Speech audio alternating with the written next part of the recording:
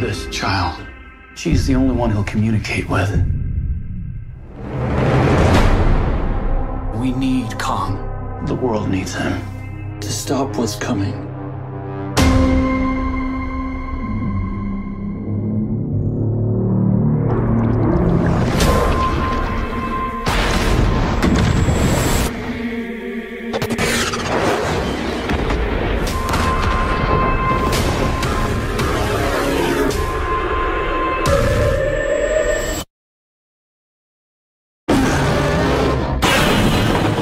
It's Godzilla.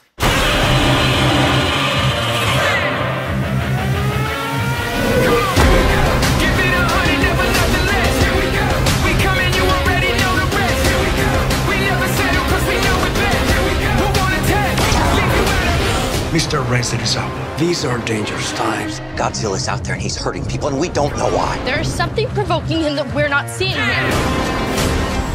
The myths are real. There was a war, and they're the last ones standing.